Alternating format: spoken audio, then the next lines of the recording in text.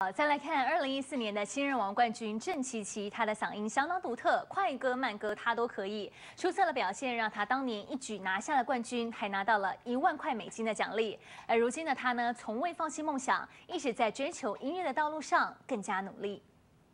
世界，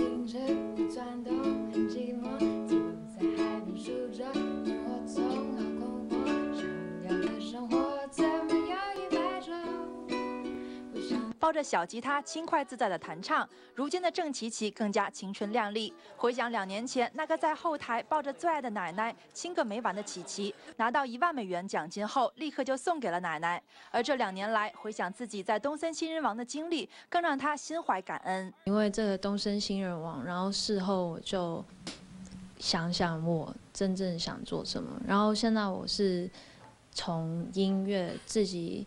嗯，从写作到跟朋友合作，跟就是做 cover，然后一切都慢慢的从从小做起。今后的目标是想就是从音乐做做到有 fan base，然后就可以去巡演。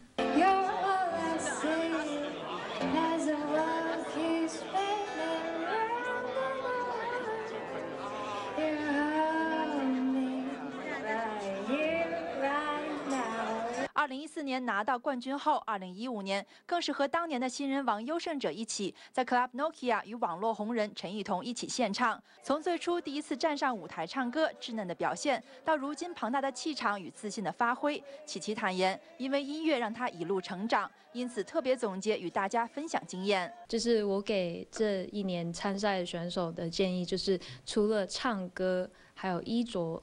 非常要用心之外，就是在场地上面的掌控的魅力。还有另外一个 tip 就是，你可以多练，可是多练会伤声音，所以要记得休息。适当的休息也是非常重要的。如果你也像琪琪一样抱有音乐梦想，并希望在专业的舞台展现自己的歌喉，今年就来参加东森新人王。即日起已经开放纽约、旧金山与洛杉矶三地海选报名，以及网络试唱，总奖金一万美元等着你。赶紧上东森美洲台二零一六年新人王官网报名。东森新闻魏宽、孟子文在洛杉矶的采访报道。